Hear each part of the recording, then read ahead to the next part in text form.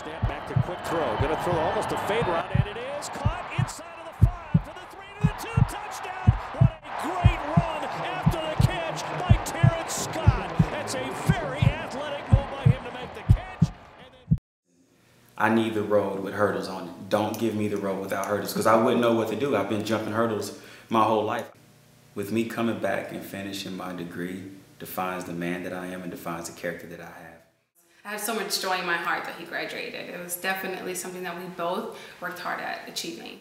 My experiences playing for the Oregon Ducks, it wasn't a perfect road when I was here. And here at Oregon, I had a good time my senior year. So Terrance Scott. Side it is caught out of bounds at the five. Protection throws it out over the middle. Four yard line. Here's the play fake down the middle. It's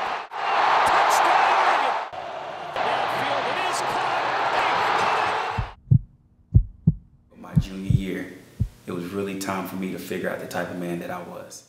I was the sixth receiver on the depth chart.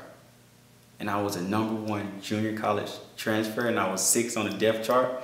You talking about a humbling experience, it really humbled me. Some of the expectations coming in our family was just graduating high school because statistically growing up without a father around, I should be in jail, I should be a problem child, or my mother was on drugs, so I should be in, off into drugs, so I stay away from statistics.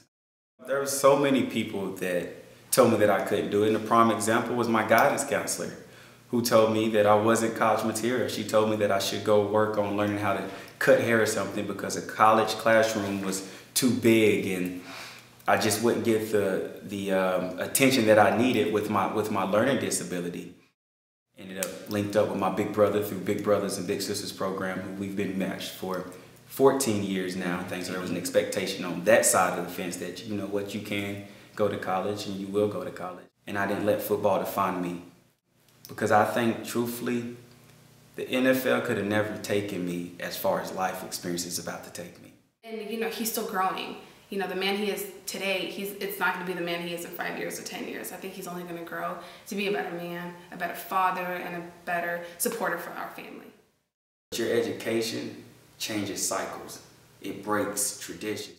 A kid that couldn't read or write at the age of third grade in resource classes when I was in the 10th grade, and I have the choice to think about going to get a master's degree, this is way bigger than football. This is way bigger than football.